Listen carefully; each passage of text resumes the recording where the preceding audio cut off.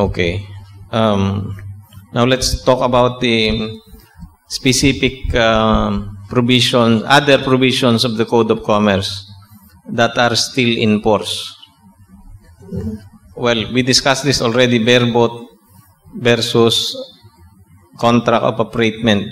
But take note of um, the um,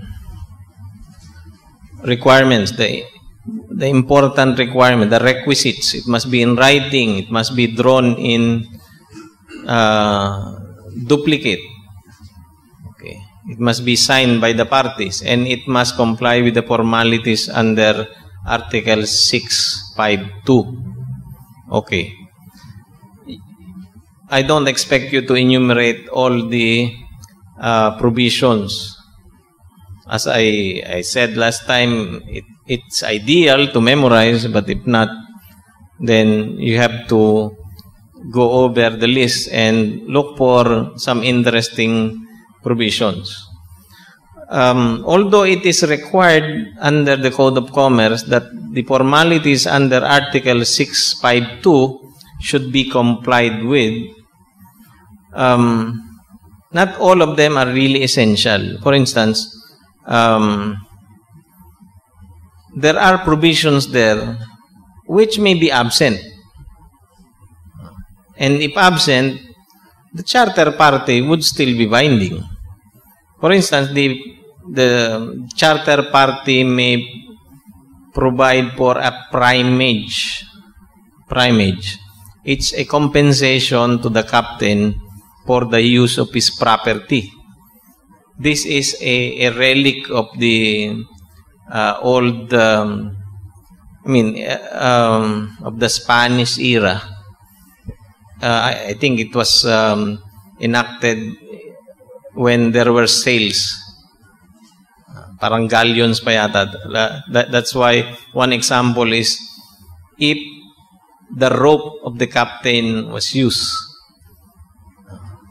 or will be used, there can be a provision on primage, which is compensation to the captain for the use of the rope. So, uh, this is one of the provision in charter party. It pays to remember the concept, but take note that even if you remove this provision, if it's not one of those provided for in the charter party, it's still valid. Okay, but just like any other contract, you have to have the essential requisites of a valid contract under the new civil code. There must be consent of the parties. There must be consideration. That's why you have the praetage. O, siguro ito yung medyo ano nyo. Kung medyo ipit na ipit na kayo, wala na kayong enumerate.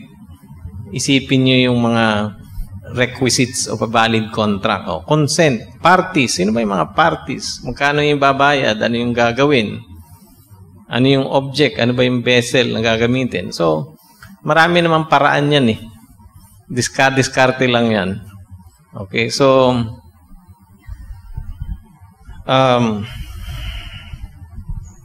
well, there should be a provision also where the um, the vessel will be placed at the at the disposal of the control of the charterer. Okay? Now, there might be instances when the agreement is really charter party, but still a bill of lading will be issued. Okay. So, it's, for instance, a time charter, a voyage charter. But in addition to the charter, meron pang bill of lading. If it is really a charter party such as a voyage charter or a time charter, the, the only, according to the Supreme Court, the only, well, the use of the bill of lading is proof of receipt of the goods. It is not proof of the contract because it is the charter party that is proof of the contract. Okay, so remember your um, characteristics of the of bills of lading that we discussed last time. It is a receipt, it is a contract, it may be a negotiable document of title. But if it is issued to accompany a charter party in a real charter party, the bill of lading is not proof of the contract, it's just proof of receipt of the goods. Okay. Um, one of the provisions in a char- charter party, a voyage charter, a time charter, lay days, or demurrage, the murals, the murage. I'm not so sure about the um, how to pronounce this, but let's just assume that I am correct anyway. Um, the murage, the murage, lay days. So it, it simply means that, of course, um, if there is a charter party, parang lease lang yan eh. It's a lease. Some sort of a lease. There is a period. Hindi naman forever yan. If it's a time charter, it's a, for a fixed period. If it's a voyage, although a, a certain period is not fixed, you know uh, the point of departure and destination. Okay. In order to avoid the problem of the charterer taking his own sweet time in removing the cargoes from the vessel at the point of destination, they will agree for a period, I mean, they will fix a period within which the charterer will remove his goods. This period is lay day. Okay. Libre, I mean, not libre, but it's covered by the original consideration. So what you paid for, that includes the lay day. If you will not remove within this period, magbabayad ka ng demurrage. It's just the compensation for the time in excess of lay day. So that's demurrage. Well, this was involved in one or two cases. So if the examiner will ask question based on cases, then it's also a possibility. So that is a provision. Uh, but um, there is also a rule in maritime law that a demurrage is always a demurrage. Um, this, uh, well, let's start by restating one of the rules that is also accepted. Although there is a period, there's a lay day provided for. And in excess of that period or beyond that period, the charterer will be liable to the demurrage. There are instances like fortuitous event. He was prevented from removing the vessel because of a storm or a typhoon. That might excuse him and uh, from his liability for the demurrage. Okay. But there is a view, a majority view, that if this so, I mean, exempting circumstance, what should have been an exempting circumstance, occurred after the lay day, then you should still pay the demurrage. Okay. So in other words, if you have three days to unload, storm occurred before the expiration, then you can invoke the defense.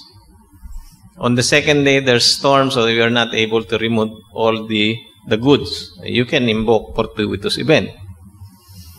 But if the storm occurred after you are already liable for the demurrage, then you have to pay. Perhaps you can justify it under other provisions by talking about delay, even under the new civil code. Uh, you will still be liable even if there is a fortuitous event in case of delay.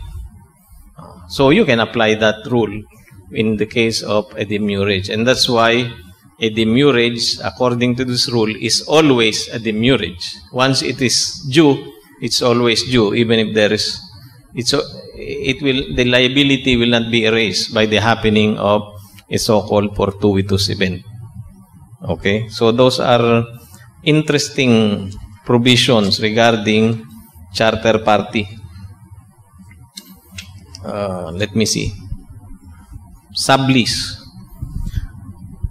Well, in a contract of um, lease under the new civil code, you can sublease unless there is a prohibition. Okay. In a charter party, there can also be a prohibition on sublease. If you charter a vessel, you cannot, it can be agreed that you cannot sublease it to somebody else. But the question is, what if instead of subleasing, you took in cargoes from third persons? Meaning, you you undertook to transport goods for compensation as a carrier, even if you do not own the the vessel, even if it it belongs to somebody else. Is this a violation of the provision? The Supreme Court in one case said that this is not a violation of a provision on sublease. Okay. Dead freight. It's just a liability. For instance, if you um, if you engage, if you entered into a charter party for a specific space, uh, let's, I don't know how you, you, you call this um, space in a vessel, but let's talk about square meters. Let's say you, your agreement is to load and charter and load goods in the space like 100 square meters even if you do not utilize. No, that's dead, dead freight. You don't utilize that portion, you may be made to pay. Okay. This is also a Supreme Court, uh, well, it was involved in a Supreme Court decision. That's why it's also, um, it may attract examiners. Okay.